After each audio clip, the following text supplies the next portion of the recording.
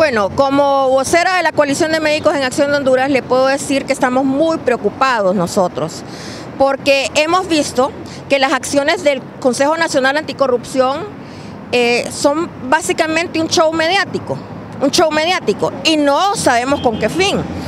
En realidad el Consejo Nacional Anticorrupción nace 13 años atrás, allá por marzo del, del año 2005, y los resultados que han logrado en estos 13 años son muy escuetos, muy escasos. Entonces no es posible que un organismo con, funciones, un organismo independiente del gobierno, porque tiene que ser independiente del gobierno, la misma ley le faculte a tener esa independencia, no obtenga resultados de manera rápida, resultados expeditos. Si usted se fija, en denuncias atrás, en investigaciones atrás que el Consejo Nacional Anticorrupción ha iniciado, solo hacen aquel show mediático de que van a iniciar un proceso de investigación contra X o, contra Y eh, organización. Sin embargo, los resultados de esas acciones, ¿dónde están? y es lo que tememos en este momento con el Hospital Escuela Universitario.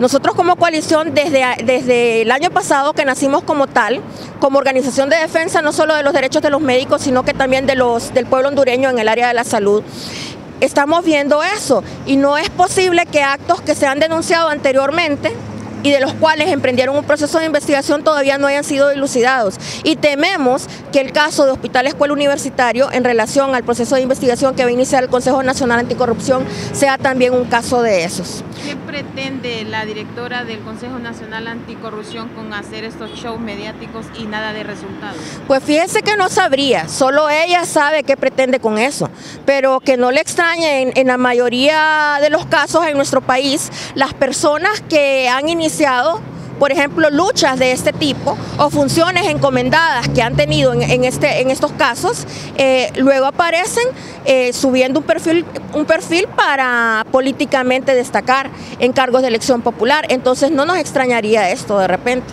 ¿Cuál es la recomendación usted para la abogada Gabriela Castellano del CNA? En primera instancia, ¿para qué anunciar que va a iniciar un proceso de investigación si lo que el pueblo quiere y exige son resultados?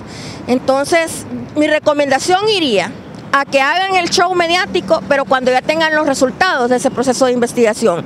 Y mejor aún, cuando ya hayan deducido responsabilidades a esas personas, pero no antes. Porque a mí de nada me sirve decir que voy a hacer y que voy a iniciar si a la hora de la hora no se le da seguimiento o no se presentan resultados dentro de todo ese proceso.